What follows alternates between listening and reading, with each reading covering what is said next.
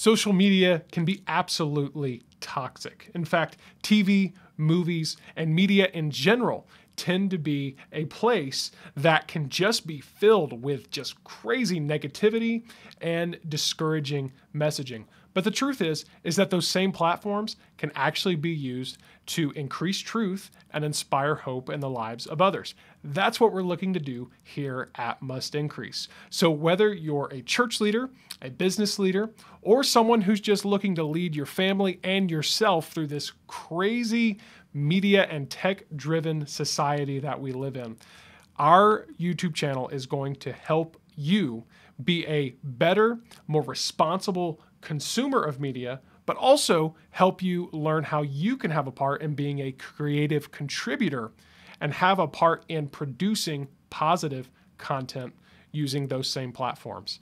Subscribe to our YouTube channel, and I look forward to seeing you in our next video.